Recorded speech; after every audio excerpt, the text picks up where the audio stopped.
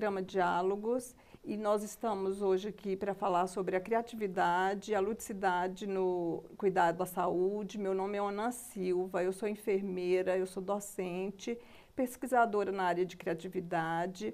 Estou aqui para conversar com o Dr. Elionai Dornelles Alves, professor aposentado da UNB, pesquisador sênior, editor da revista Gestão em Saúde é, e pesquisador da área de criatividade. Professor, nós é, podemos começar esse assunto falando um pouco sobre os aspectos históricos da nossa profissão. É, então, vamos conversar sobre esse assunto? Vamos lá, Ana. A enfermagem, enquanto ciência e arte, ela tem questionado nos 100, 100 anos de existência muito a questão da ciência e ela tem esquecido da arte. Florence Nightingale, a pioneira da enfermagem científica no mundo, é, deixou marcado a preocupação dela tanto com a questão do, da ciência, da ética, quanto da estética. E, na verdade, é, na nossa formação de enfermagem, esse tema ele é muito recente o trabalho da criatividade no Brasil. Nós, é, eu acho que iniciamos essa preocupação, e aí eu, eu diria, falando da minha experiência enquanto docente pesquisador, que daria para dividir em dois momentos. Um momento antes das diretrizes curriculares nacionais e da própria LDB, e pós essa legislação, essa documentação. Na verdade, é, o que nos levou a questionar é a relação professor-aluno. Eu fui aluno de uma das últimas turmas de Paulo Freire e ele dizia que nós precisávamos humanizar a relação pedagógica professor-aluno. E eu me lembro que num dos questionamentos feitos por ele, ele colocou quem ensina na sala de aula e quem aprende. Pois é, quem ensina e quem aprende, né, professor? Eu acho que assim, nos aspectos históricos havia essa divisão, é, como é, quando a, própria Florence falou sobre as nurses e as lady nurses, e aí o senhor acha que historicamente é, essa divisão de trabalho também ela influenciou? Sem dúvida que perdurou, anos e anos, porque o modelo de ensinar era um modelo tradicional, tecnicista, uhum. não é? Onde o, o, a educação era mais centrada no professor e o aluno mais como ouvinte, né? Perfeitamente, o aluno passivo, né? O aluno passivo e nisso também é, a gente pode ver que refletia, inclusive, nas práticas, né? É, fragmentando... Na divisão social do trabalho. Na divisão social do trabalho, nas ações cuidativas de, da enfermagem, olhando apenas o, o fazer, a questão biológica da pessoa, né? O fazer pelo fazer, fazer e não pelo saber pelo e... não saber o fazer pelo saber. Uhum. Embora a gente não pode negar que na história esse fazer pelo fazer ele sempre existiu. Nossa formação foi dentro de uma linha tecnicista, né? Mas é, nem todo o profissional e educador da enfermagem aceitou passivamente isso. E eu me enquadro nesse grupo. Pois é, conta para nós um pouco da história do senhor, assim, é, dentro dessa, desse momento importante de transição paradigmática, de, de docentes é, no, no, seu exercício, vendo que era preciso romper esse papel é, que até o Paulo Freire falava muito, né, do professor é, como é, apenas centrado nele, ensino. O senhor participou né, e participa até hoje e me influenciou bastante no meu olhar acadêmico, no meu olhar docente. Bom, é, de Paulo Freire, né, a célebre frase é, ninguém capacita ninguém, ninguém Isso. ensina ninguém, o mundo mediatizado, o, o indivíduo mediatizado no mundo é que encontra os seus conhecimentos e capacita-se.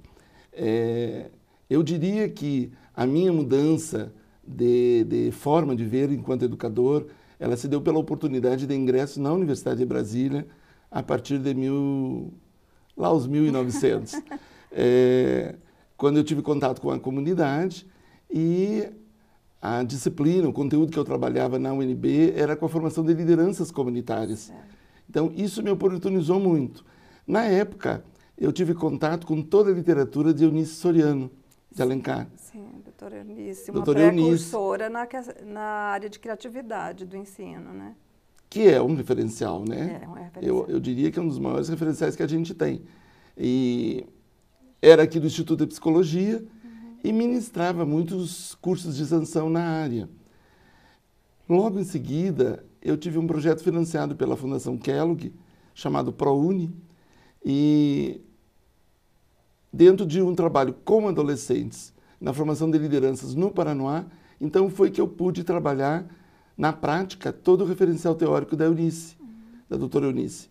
E isso trouxe, trouxe para todos nós da enfermagem uma nova maneira de repensar nossa prática docente. Que através de uma oficina pedagógica, por exemplo, que nós trabalhávamos uma dinâmica, os alunos brincavam, se divertiam e o tema era trabalhado. É. Planejamento familiar, é. drogas, segurança, prevenção de acidentes. Toda a temática hoje que a gente costuma abordar em treinamentos de primeiros socorros, nós já mudamos, em vez do curso ser primeiros socorros, era como acudir depressa. Interessante. E isso, professor, o tanto que é interessante, o senhor disse que começou na comunidade, porque nos aspectos históricos assim que a gente via, é, o profissional, como o Foucault falar, é, sempre mostrou para a gente, no, nos seus estudos, que essa divisão também é, do profissional e da pessoa. Quando nós sabemos que todos nós somos criativos, temos os nossos potenciais. E, na verdade, a saúde ela é um bem produzido quando há a, a interação entre, entre eh, a pessoa que cuida e a pessoa a ser cuidada. Né? Eu também é, destaco bastante o, o, trabalho da doutora Eunice Soriano de Alencar, que foi minha orientadora de mestrado na área uhum. de criatividade, acho que é um referencial.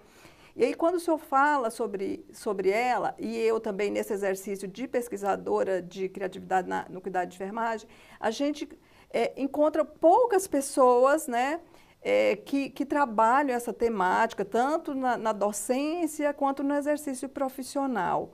Isso, é, na, na, opinião do senhor, é, é, é importante a gente estar tá, tá ressaltando, trabalhando, investindo mais em pesquisa, em estudos? Sem dúvida alguma. Onan, eu diria assim, ó, eu acho que nasce na enfermagem uma, uma, um novo referencial, que é a Onan Silva. Okay. É uma poetisa, uma pesquisadora na área, e eu acho que nós vamos ter muito que aprender com Onan. Né? E é esse, é essa a minha satisfação em orientar seu projeto de sua tese de doutorado. Mas, é, na verdade, a temática é muito nova. É muito nova. E a mudança de um paradigma, Kuhn fala que, Thomas Kuhn fala no livro da estrutura da revolução científica, que a mudança de um paradigma leva uma geração. Hum. Quer dizer, se nós fôssemos considerar 35, 40 anos, quer dizer, o que hoje Onan, Hélio semeiam será colhido daqui a 30 anos. Hum. Então, não posso esperar uma mudança imediata. Hum. Veja só, nós temos na, na LDB do, dois artigos que nos dariam respaldo para utilizar a criatividade. Uhum. A autonomia, autonomia, e a flexibilidade. Isso. E o nosso modelo pedagógico ainda, político-pedagógico, ainda é resistente à mudança. Nós achamos que o saber centrado no professor ainda é o melhor, uhum. que as provas ainda são um melhor instrumento de avaliação, às vezes os próprios alunos também, é, quando a gente é, vai fazer uma avaliação de modo diferenciado, é, sente falta da, da prova, né, professor? Assim, às vezes, assim, o que a gente poderia estar tá utilizando como avaliação, a própria participação dele, é, a reflexão, que, que a gente vai observar independências, que, é, que é uma característica das, da criatividade, e eles perguntam, e a prova, né? Então, acho que temos realmente, igual o senhor falou, é, o, que o Kuhn mostra sobre isso, que o andar de uma mudança demora tempo. Eu mesma tenho, assim, trabalhado nessa temática há mais de 20 anos, né? E, e vejo que ainda, ainda é, é muito pequeno o movimento, é, agora mesmo na, nesse trabalho de doutorado, é, os referenciais são, são raros, dentro da enfermagem, inclusive, são escassos. O que a gente mais detectou foram, foram relatos de experiência, não estudos empíricos que trabalhem a temática. E isso a gente ainda precisa investir também, né? E é, na docência também, quando a gente, o senhor que tem uma experiência grande na docência, é, para fazer rupturas no processo de ensinar também, né? É, é, não é fácil, às vezes o próprio aluno demonstra que quer mais uma aula, uma aula tradicional. Né? Perfeitamente. Né? No, no, no, na pós-graduação, a gente tem uma disciplina chamada Práticas Educativas, e nessa disciplina eu introduzi o conteúdo da andragogia, para mostrar para o aluno a relação diferente de um professor quando ele lida com um adulto, quando ele lida com uma criança. Uhum.